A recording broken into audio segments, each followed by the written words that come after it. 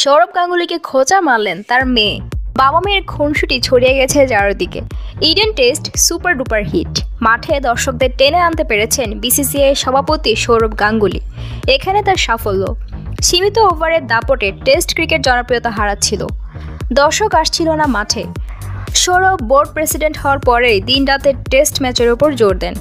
কলকাতার টেস্ট শেষে বিরাট কোহলির হাতে সিরিজের ট্রফি তুলে দেন সৌরভ।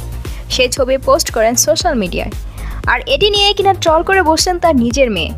ট্রল বলা চলে না, বলা চলে বাবাকে একটু ছোট্ট খোঁচা দিয়েছেন মেয়ে। সৌরভের পোস্ট করার ছবির নিচে কমেন্ট করেন তার কন্যা সানা গাঙ্গুলি। বাবাকে কেন বিরক্ত দেখাচ্ছে জানতে চেয়েছেন আর কমেন্ট ছিল, ব্যাপারটা কি? তোমার কি কিছু পছন্দ হচ্ছে না? সুযোগ পেয়ে খোঁচা দিতে ছাড়েনি বাবা সৌরভও লিখেছেন হ্যাঁ এটা তোমার দিনে দিনে অবদ্ধ হওয়ার কারণে। তবে এ কমেন্টে চুপ ছিলেন না সানাও। দ্রুতই উত্তর দিলেন, তোমাকে দেখেই তো শিখেছি। এরপর সৌরভ মন্তব্য না করলেও বাবা মেয়ের এ ভালোবাসা মাখা আলোচনায় মজা পেয়েছেন ভক্তরা। অল্প সময়ে সৌরভের মন্তব্যে লক্ষাধিক লাইক পড়ে যায়। এদিকে ভারতীয় ক্রিকেট বোর্ডের প্রেসিডেন্ট হওয়ার পর একের পর এক যুগান্তকারী সিদ্ধান্ত নিচ্ছেন সৌরভ গাঙ্গুলি।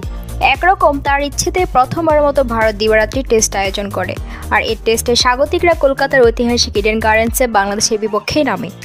যেখানে গাঙ্গুলি জানান এই টেস্টটি তাকে বিশ্বকাপ ফাইনালে রোমাঞ্চ মনে করিয়ে দিয়েছে। ইডেনে যদিও মাত্র আড়াই দিনের কম সময় হেরেছে বাংলাদেশ। তবে কাগজে কলমে তিন দিনের ম্যাচে দর্শক সমর্থক ছিল টুই টুম্বুর এমনকি শেষ দুই দিন খেলা না হলেও প্রায় সব টিকিট বিক্রি হয়েছিল। এই টেস্টকে ঘিরে যেন বড় কোনো উৎসবে পা দিয়েছিল ক্রিকেট। এ প্রসঙ্গে সৌরভ গাঙ্গুলি বলেন, চারদিকে তাকিয়ে দেখুন, আপনি কি টেস্ট ক্রিকেটে এমনটা আগে কখনো দেখেছেন? শেষ কোনো টেস্ট ম্যাচে দর্শকদের এমন চেঁচামেচি শুনেছেন?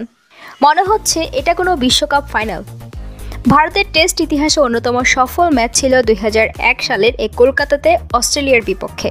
যেবার ভিভিএস লক্ষণ ও রাহুল দ্রাবিড়ের ব্যাটিং দৃঢ়তায় ঐতিহাসিক জয় পেয়েছিল টিম ইন্ডিয়া আর ভারত বাংলাদেশের এই টেস্টটি সেদিন ম্যাচের উত্তেজনার সঙ্গেও মেলে বলে মনে করেন ভারতীয় এ ক্রিকেট বস তিনি আরও বলেন, ও, এটা একটা অসাধারণ অনুভূতি।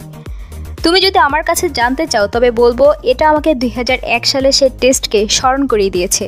টেস্ট ক্রিকেট এমনই হওয়া উচিত। দর্শকের ঠাসা একটি ম্যাচ। কলকাতার টেস্ট আয়োজনের কোনো কমতি রাখেননি গাঙ্গুলি। করবেনও বা কেন? এটা যে উপমহাদেশের ইতিহাসে প্রথম দিবারাত্রির টেস্ট।